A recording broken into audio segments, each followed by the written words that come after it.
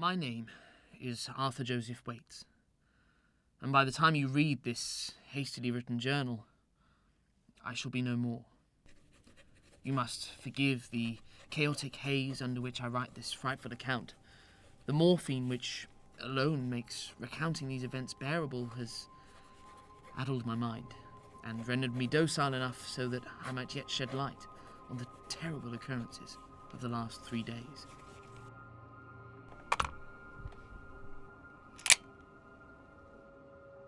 Until the discovery of this accursed tome, my life had been a blur of mundanity, which may not be unfamiliar to yourself.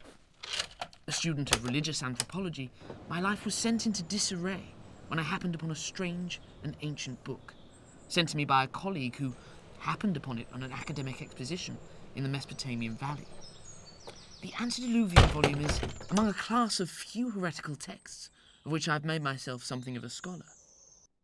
Rejected by the alumni of my university, I took on the task to uncover the academic potential of such a discovery myself. The old fools at the Atoma University Board were likely swayed by fear of intervention from local ecclesiastic bodies. The book was printed in an array of ancient texts and languages, primarily Arabic and Aramaic. However, a range of scripts are present, both known and unknown to me. The cover read Kitab al Azif. Necronomicon. I have seen similar contents in select works of insular occult texts before. However, the breadth and diversity of mythology contained within this work surely could not have been derivative of a single religious source. I took a peculiar fascination in one particular terrible and ancient deity described within this strange book, by the name of Yog Sothoth. The book detailed a particular ritual, a sort of summoning. It was apparent that as powerful as these beings, or gods, may be, they are usually sequestered, locked out of our physical realm and dwelling in places beyond the three known earthly dimensions. Perhaps I would be the one to call upon this knowledge. Less academics may have been dissuaded, but in my fervour, conventional skepticism left me. I would not be dissuaded by trivialities such as ridicule or embarrassment at the hands of my peers. I found the promise of the gifts of knowledge presented by this ritual alluring.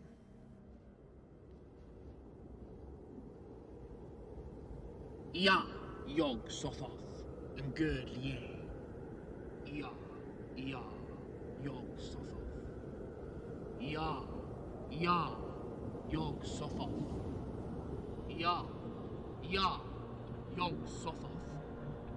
Ya, Ya Yog Sothoth. Ya, Ya Yog Sothoth. Ya,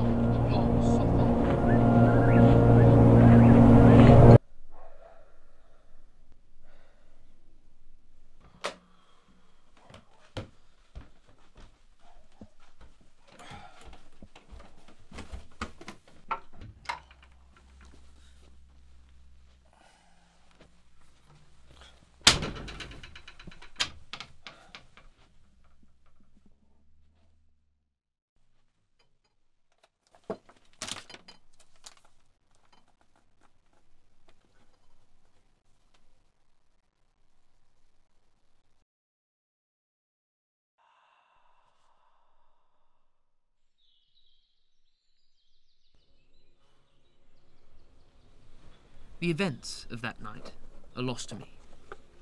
I am unsure if I was even in fact successful in performing the ritual. What was known to me, however, was the deep and irrevocable sense of unnatural dread that now filled my head.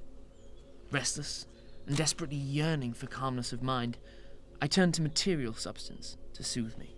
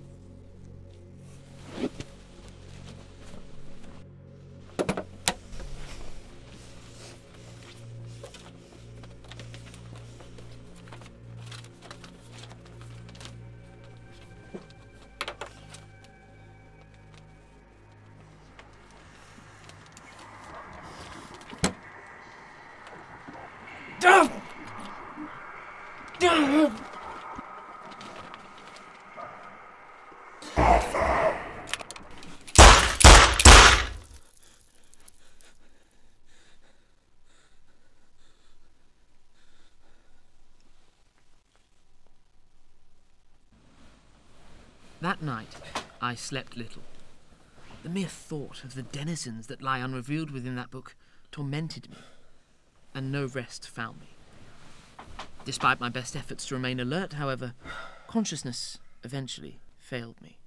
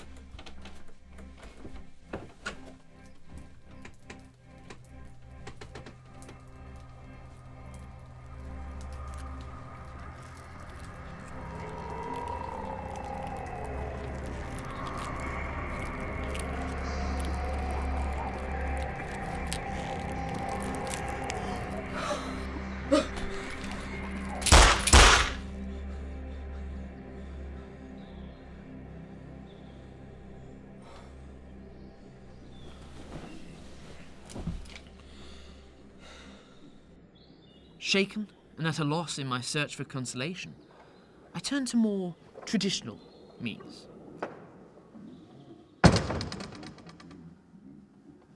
My beliefs have long been ambivalent towards conventional higher powers.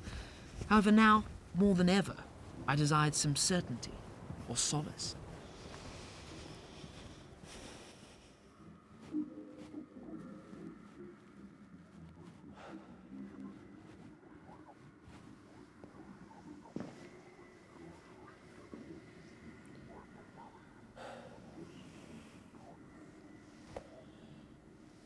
I don't expect any answers from you. But I don't know what to do. I have sought answers to all of life's questions, and you, you have answered none of them. But now I'm unsure. If what I have uncovered within the Necronomicon is true, and if its secrets were kept so for a reason, then am I damned? For these unnameable horrors that I've foolishly proven will certainly not shed me any clemency. I have shunned your guidance in the past, but now I must try. If there is some peace, some solace I can find, then you must show me. For these blasphemous things I've uncovered through relic and ritual must not be repeated. Such abominable scourges staining reality must surely not be. If you are there, watching me, guiding me, show me. Show me now, or damned I will remain.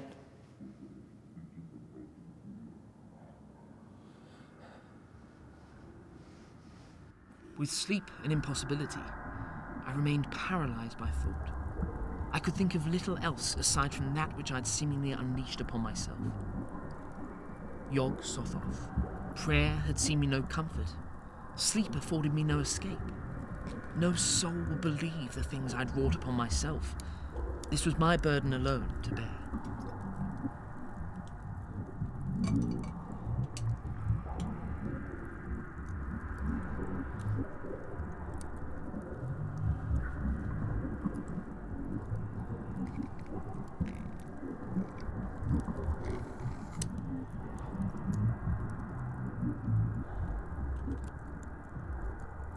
Even with my soothed mind, my curiosity was insatiable.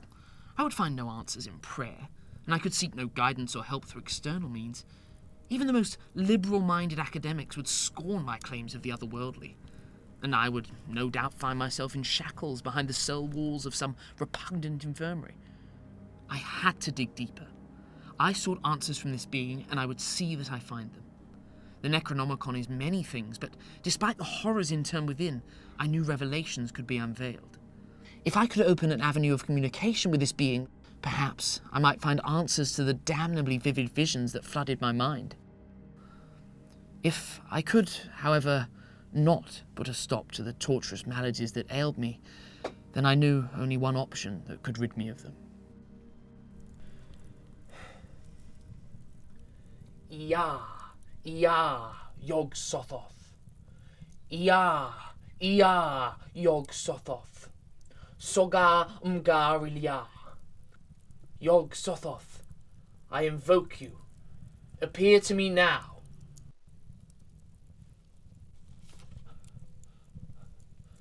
Arthur, you tread where you should not. You speak to me now? After all this? Speech is a primitive description.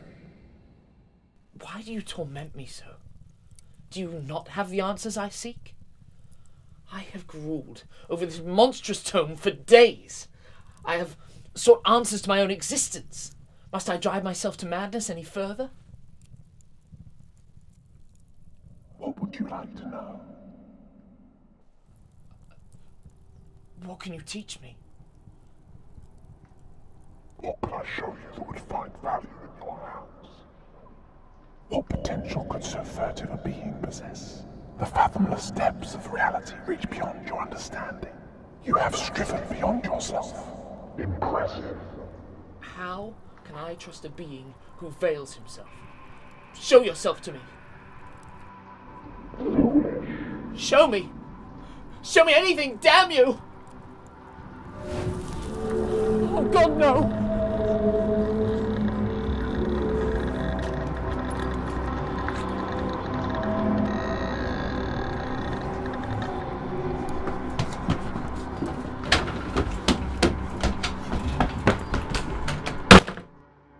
That moment, I think I went mad. Yet, sitting here now, I cannot resist doubting myself. Are these merely the hapless ramblings of a madman, desperately trying to drown out the incessant dronings of my own mind? My mind wanders back to repugnant and dizzying reality. Maddening verisimilitude of the things I have come to witness leaves no doubt in my mind. The terrible and frightening reality before me.